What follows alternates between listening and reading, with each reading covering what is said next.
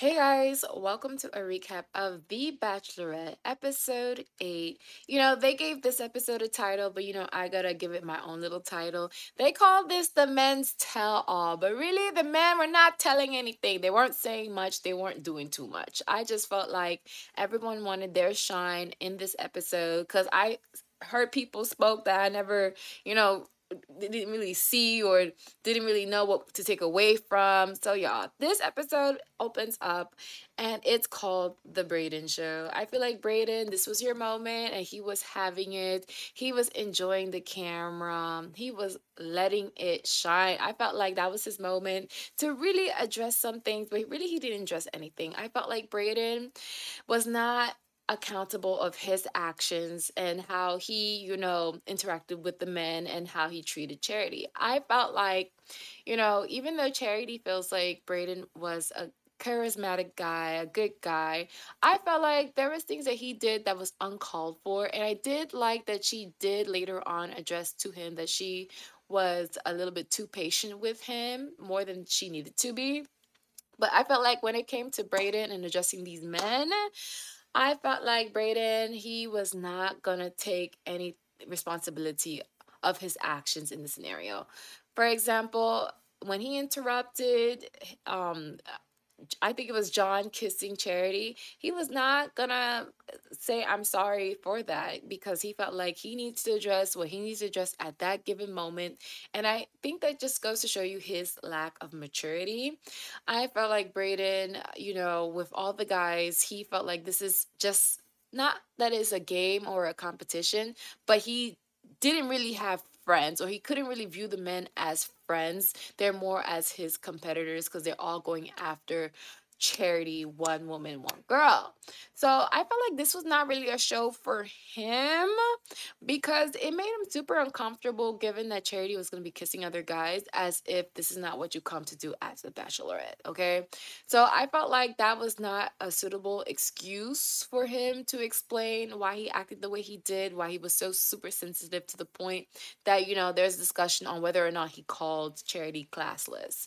Um, that take us back to the scenario where you know charity she was out here to beat the longest kiss held at the bachelor bachelorette situation and you know Brayden said he didn't want to sit and watch that and i'm like sir you are on the wrong show. But what we did learn is that Brayden, of course, he was called back to be on Bachelor in Paradise. So that show is a perfect show for him because then he has like multiple options to kiss somebody. He will not be left out in the dark whining and crying, okay? So we get to see a sneak peek of him on Bachelor in Paradise.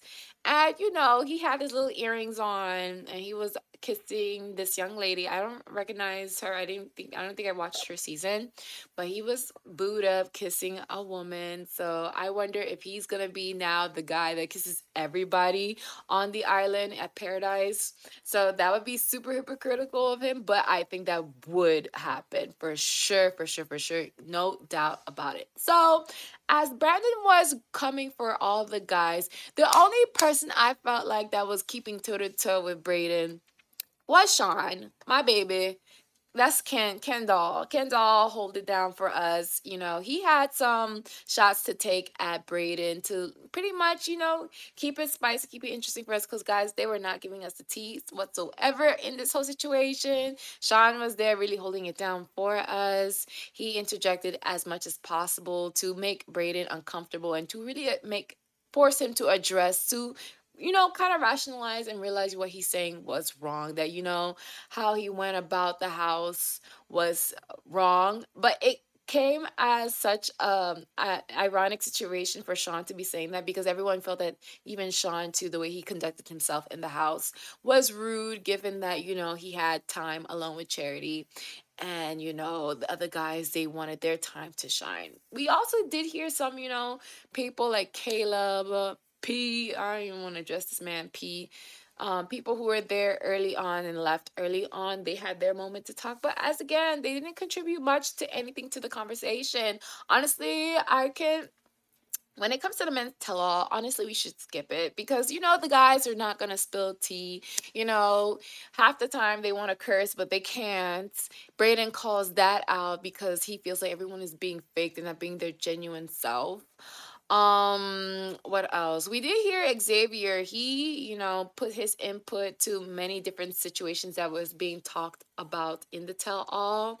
And he is trying to be the voice of reason. I'm sir, I'm, I'm at this point, I'm like, sir, I'm still mad at you. Let's bring Xavier. I'm still mad at you on how you left in the show, but we will get to that and we'll address that later because maybe I have a change of heart about Xavier. But yeah, the guys were not spilling any tea whatsoever. Um, Brayden in the hot seat, he was just repeating and not taking accountability.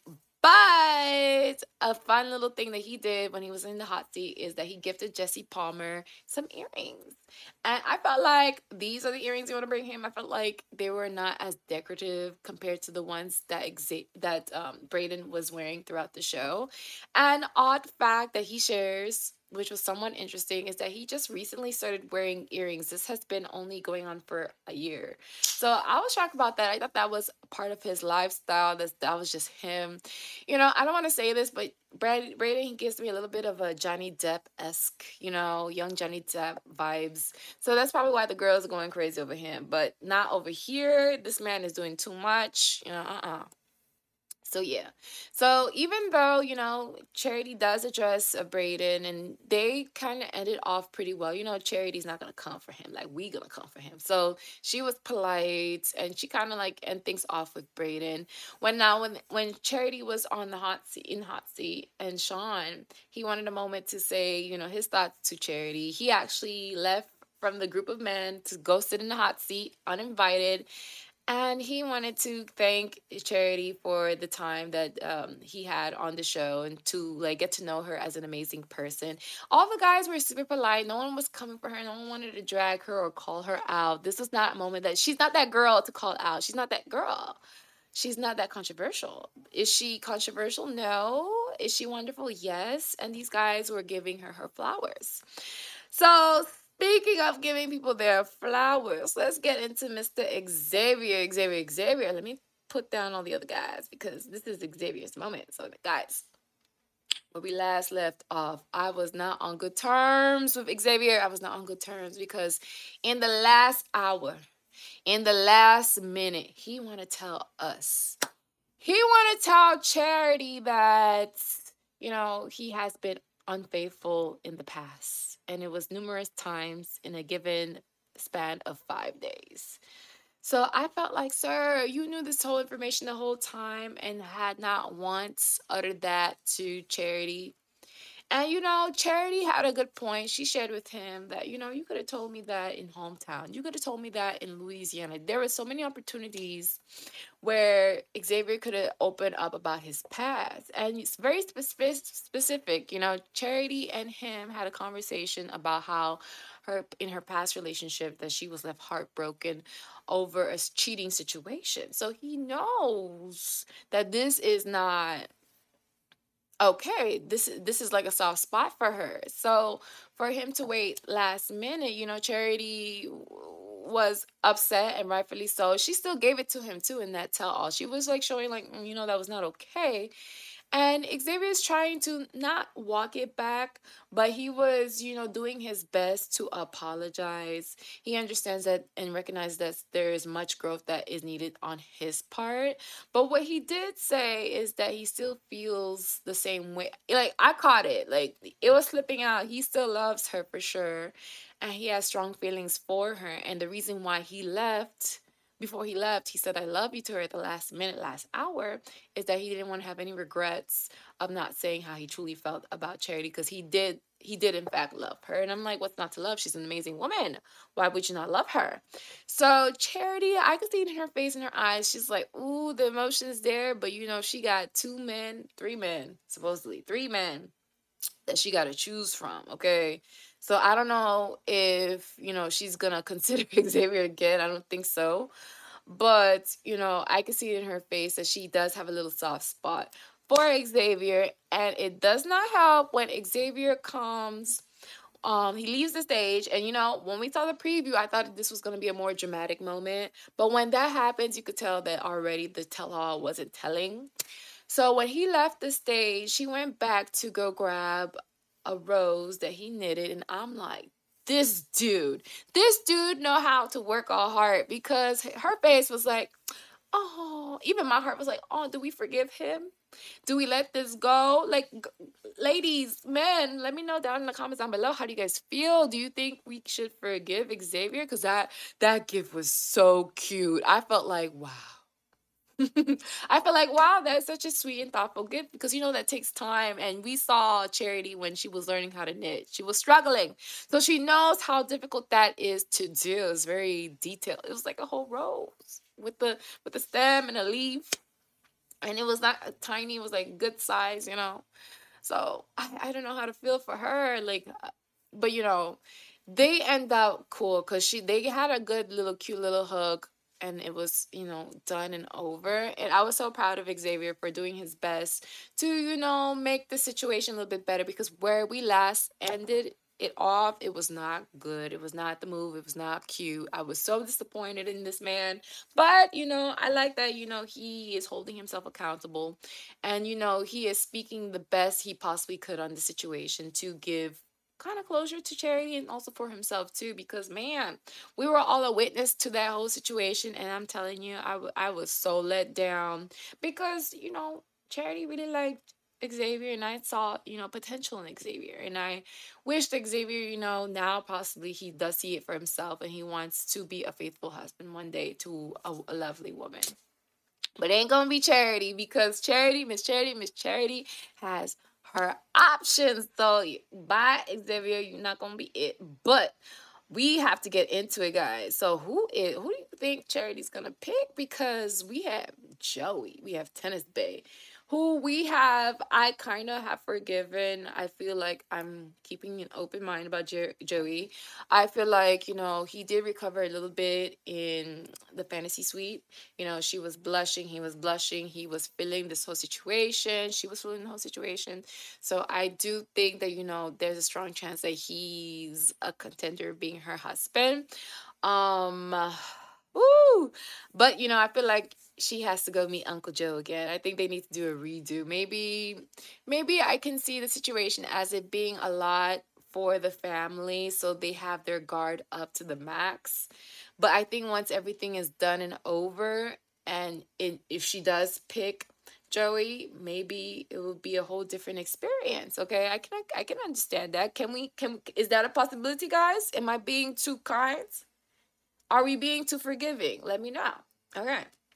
Now, of course. Oh, let me move out. Let me move out my baby's way. Let me move out the way. Woo! Let me take myself out the way. Now, with Dotun, oh my God. Fairy tales do exist, y'all. They do happen. We just got to get it out of our mind that it cannot, that it, it can, okay? I think of the story of Cinderella saying, It's possible. Like that whole song says, It's possible, it's possible, it's possible. You just gotta believe that it's possible. So, child, if it's possible with Dotun, oh my God, she's gonna give so many women so much hope. So much hope in a situation that fairy tales do exist and that a man can, you know, if he wants to, he could. Okay. So I would love for these two to be a match. But you know, it's up to charity. But you know, I'm trying to give her my thoughts. We're trying to help a girl out, you know. She said she was having a hard time. We saw the preview with her mother. Her mother was, you know, stressing It's like, You got to pick. You got to pick one. You only leave with one. Now, I'm holding up two, but you leave with one. leave with one. Now we got our wild card. Okay. Aaron, you know, Aaron, he did his pop in. He popped back into the situation. He had his comeback. And, you know, with Aaron, I felt like, okay, let me go back. Charity did express to Xavier that had she had known the information that she did know, that obviously Xavier would not have gone this far into the competition. So possibly that spot would have probably been open to Aaron. I think so. It would have been open to Aaron. And, you know, because she acknowledged that he's a good guy, she acknowledged that she's a great gal. And I felt like where we last left off, she was saying so much positive things towards Aaron that made me do a double take. Like, is he back into the equation or is he not? Like, what are we doing? Obviously, my opinion is that, you know, if you send him home the first time, don't bring him back around. Don't do that. Don't, no, no, no. We stand firm in our decision. We got to stand on 10 toes down our decision. And I felt like, you know, let it be just between Joey and Dotun. But Aaron, you know, I wouldn't be mad. I wouldn't be mad because uh, he fought for his love and if she wants to decide to continue on with Aaron, I'm gonna let it be. I'm gonna let it rock. But y'all, this hotel law, it didn't give too much. We did have a moment where we had our past, you know, bachelors and bachelorettes, no, bachelorettes come into the situation and they gave their advice to Charity to let her know that, you know, this is a unit, this is a family, we're supporting your decision. And I'm like, y'all, we didn't need them we we we we got our girl. We got our girl Charity. And I'm so happy that we're gonna have this new kind of twist situation um, with the old with an older bachelor. And you know, I am so curious and so fascinated to how that's gonna go down, how it's gonna happen. But I did find it shady that every time they want to promote this this golden bachelor, they show like a a, a rose that is wilting. Like, don't do me like that. don't do that. That was too much. But I'm here for it. So that will be coming up, and I'm thinking I'm gonna recap that too as well and see what it's gonna offer. But y'all, what are you guys' thoughts? I know the men's were not telling anything, they weren't doing too much. You know, some guys they felt like there was the final opportunity to ask some last questions. They didn't really ask anything that you know Charity could have uh, said to add to the equation. Um, but yeah, we down to I guess our last three. We're here for our last three. And next week we're gonna see what's gonna happen, what's gonna go down. But I'm rooting for our girl Charity. Whatever decision she makes, we ride with her. We ride with her till dawn, okay? So, guys, I want to know what you guys think. Let me know down in the comments down below. And do not forget to like, share, and subscribe, okay? Like, share, and subscribe for your girl. I appreciate that. And of course, as always, share as much kindness as possible. And I talk to you guys very much soon, possibly in the comments. I'll talk to you guys in the comments. I'll see you guys there. Bye.